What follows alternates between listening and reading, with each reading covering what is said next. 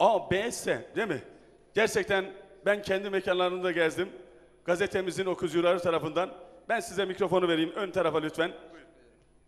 Herkese iyi akşamlar. Ee, ödülü ABS 4 Çelik Kapı çalışanlar adına alıyorum. Hepinize teşekkür ediyorum.